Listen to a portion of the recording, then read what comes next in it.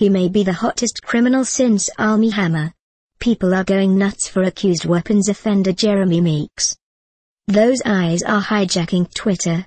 The 30-year-old Stockton, California convicted felon is being held on $900,000 bail for illegally possessing firearms and ammo, carrying a loaded firearm in public and criminal street gang activity. The specific charge is street terrorism. The Stockton Police Department's Facebook page is blowing up. With more than 15,000 likes and 3,700 comments.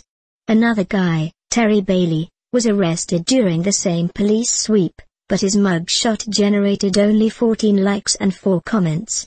Life isn't fair. That said, we got to ask,